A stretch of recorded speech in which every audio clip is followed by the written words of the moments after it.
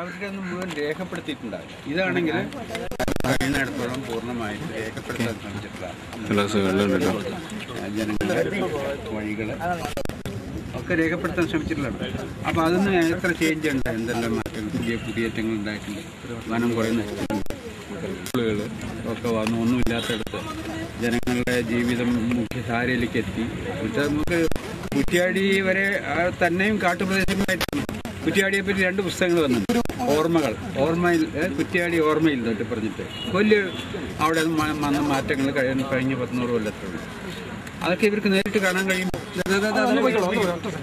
കുട്ടികൾക്ക് ഉപയോഗപ്പെടുത്താൻ കഴിയും. പുസ്തകത്തിന്റെ രൂപത്തിലായാലും സി ഡിയിലായാലും നമുക്ക് ഫോട്ടോസൊക്കെ എടുത്തിട്ടുണ്ടാവും. പലരും റെക്കോർഡ് ചെയ്തിട്ടുണ്ടാവും. മാഷുമാർ പറഞ്ഞു കൊടുക്കും. ഓർഗന്റെ യാത്രയ്ക്ക് ശേഷം നൂറ്റിരുപത് വർഷം കഴിഞ്ഞിട്ടാണ് ഇങ്ങനെ ചെയ്യുന്നത് അത് കുട്ടികളാണ് നടത്തുന്നത്. ഇതിന് മുൻപ് ഇത്തരത്തിലൊരു ചരിത്രപരമായ ഒരു ആ ഒരു പതിവില്ലല്ലോ. കുട്ടികൾക്ക് വല്ലതൊക്കെ സിലബസിൽ എഴുതിയിട്ടുണ്ടാവും പാഠപുസ്തകത്തിൽ അച്ചടിച്ചിട്ടുണ്ടാവും. അത് ചോദ്യം ചോദിക്കുക. അതുകൊണ്ട് അത് അത്രയും പോയിച്ച് വെച്ചാൽ അത് പഠിക്കലല്ലേ ഉള്ളൂ.